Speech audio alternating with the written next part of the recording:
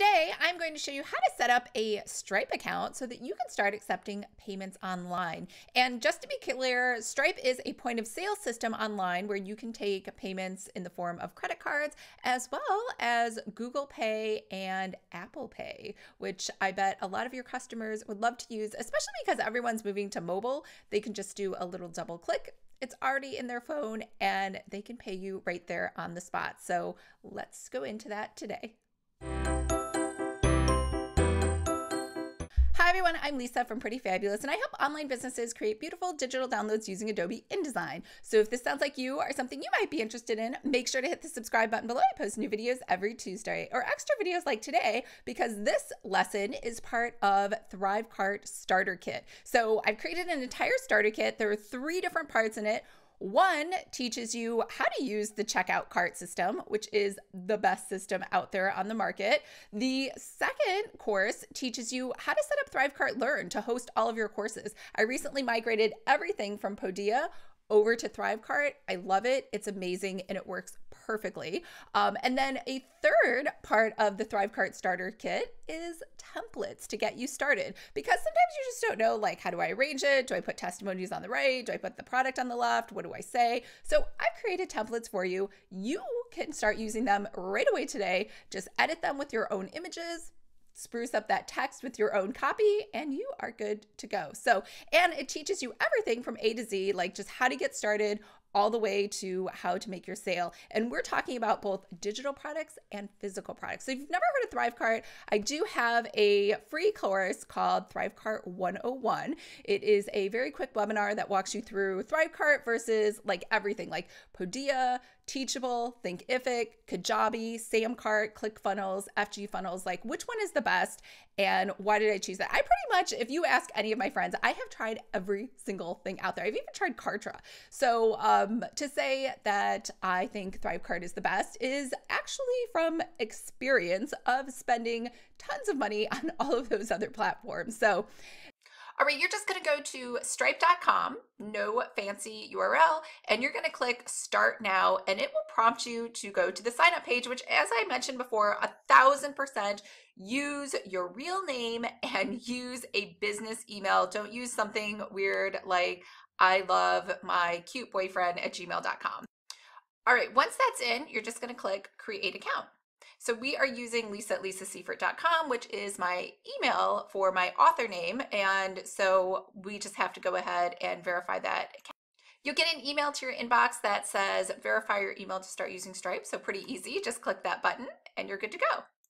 You'll be taken to a screen that says activate payments on your account. We are going to definitely do that. And now we're going to go through and start adding our information. So we are, I am in the US, um, but obviously if you're in a different country, you can put that. You're going to put your address and make sure it is your business address.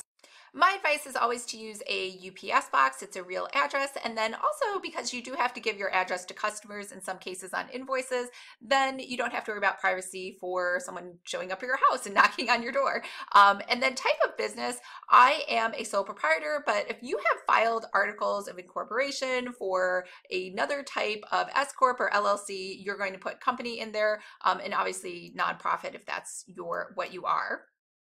And because Stripe does work with banks and with the IRS to send in your month end or your year end 1099, you do need to use your real legal name um, in case you were thinking about using a stunt double name or something else, uh, your date of birth, and you will have to add your phone number. Don't worry, it's just for Stripe. They're not going to give it out. And the last four digits of your social security number on the screen. Next, they want to know what kind of business you have. So I have books, so I type that in. But over here, you can see they have a huge list of different ways that you can classify yourself. Uh, under digital products, I'm going to put books. And for my website, I'm going to put in um, lisasiefert.com. And product description, I write cozy mystery books. The next tab is fulfillment details, and you have a few different choices. Digital products usually are a day, but I'm gonna put two weeks because I also sell physical books. So we're gonna go ahead and hit continue. Now, this is really important. Support details. This is what's going to show up on their credit card statement. So I just leave my website, lisasiefert.com. That way, in case they don't remember that they bought a book from me or my name or anything else, they at least know they can go to that website and then be reminded about who I am instead of just putting a dispute in. And then also short and book descriptor, I put books over here. So it'll show books. So in theory, one of the two should help jog your memory as well as all of this other information down here. This is really easy. You're just going to select whatever bank you use. Unfortunately, I use Wells Fargo, which is literally the worst bank in the world. Um, but you can go ahead and set up everything uh, right there. And if you don't see your bank in the list, you can usually, um, like Citibank isn't here. All, it pretty much has every major bank that you can connect to. And you're going to put in your routing number and your account number, double, triple, quadruple check those to make sure those get input correctly. For two-step authentication, I just use SMS. It's not a big deal um, instead of an authenticator app. I tried the authenticator app. It was like such a pain. I would highly advise against it. It's just way easier to get a text message. The next one is automated sales tax calculation. And for this one, I wouldn't worry about it. I mean, I put in books, um, but if you have digital magazines, digital products, you can choose that as well. Or if you sell software or something else. And the reason I say don't worry about it is because you're probably going to use a checkout cart like ThriveCart if you have not checked out my ThriveCart 101 webinar. Um, but that's going to be easiest. Uh, and it's most likely it's not going to ever have to charge taxes because you're not going to send invoices out from Stripe, which you can do. I think that's a little weird, um, but I'm just going to choose books and continue. I do not know why this is in here. Climate contributions. This is to me ridiculous and stupid that this is even an option in here. 100% just click not right now and skip this and don't put anything in here. And at the very end for summary, you're going to review all of your details and hit submit and you're all set. And if all else fails and you make a mistake, you can simply go to your account settings, account details, scroll all the way to the bottom and click close account. And this will simply close out and delete this whole account and you can go ahead and start over in case you make a mistake. You can send out an invoice directly from Stripe, but I highly, a thousand percent advise against this. I think it's a bad idea. But if you're like, I just want to save money and not go through you know, a checkout cart system like ThriveCart or something else, you could do that. So the first thing you're going to do is under payments, you're going to go to invoices. And before you send out an invoice, I would go to brand settings and go ahead and put your branding in there. And again, it just helps so that people do not dispute credit card charges. So for Icon over here, you can go ahead and add anything you want. So anything you add here for icon has to be under 500 uh, megabytes. And I just put the pretty fabulous circle logo because it's really meant to have a circle. So don't try to do a square.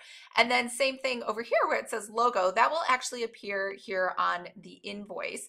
And then for the brand colors, the brand color will be this color at the top and the accent color will actually just be that button at the bottom. So um, customer portal will use those same colors, hosted invoices, as well as invoice PDF. Well, actually invoice PDF you can see uses nothing but uh, the logo. So, you know, as I always say, be consistent, make sure people don't have a reason to think this is junk mail or something weird or something creepy. So just make sure you use the same thing on everything. And that's how you set up your brand settings. And then once you save those changes, then you can go back in and send an invoice. So we're right back here at invoices and we're going to click create an invoice and you can see we have our branding and our logo already set up just how we thought it was going to be. And you can send this to a particular customer um, or you can go ahead and just um, add a customer. So you can add a customer if you just click add and I can send this to, let's say my alter ego, Lisa London. So we'll send this to Lisa London author at, um, can I even spell? Lisa London author at gmail.com. And we'll go ahead and save that customer inside of here. And we'll say we're charging her for a custom planner design. And this custom planner design is going to be $5,000. Uh, and then it, I can also add any taxes or coupons um, or anything for her ahead of time, uh, but I don't need to, so I don't have VAT here. And I can just add a memo that says, thank you, uh, thanks you, thank you for your order. Uh, and then what you want to do is you want to actually just email the invoice to the client. Um, you can automatically charge a payment method on file.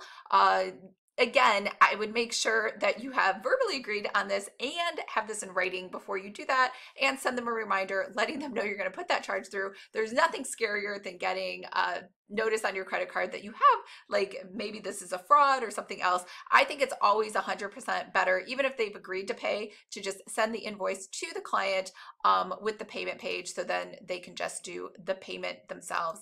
Um, so as far as adding any options, I think you're just going to leave this as ACH credit or that they can use a card. I think those are the only things that are available you can do. And then you can go over here to review invoice um, and go ahead and you could go ahead and send this invoice. So be really careful because invoices can't be edited after they're sent because otherwise, you know, somebody will get an invoice for 5,000 and then you'll change it after the fact to 8,000 and all of a sudden they're paying for 8,000. And that's why you can't change it after the fact. So that is what your invoice will look like. To add a subscription, we're going to go over here to payments, subscription, and at the very top, we're going to click create subscription. And inside of here, we're just going to charge that same Lisa London person. And for product, we're going to have to add a new product because we have to create a subscription product. So we're going to call this um, my fabulous monthly membership.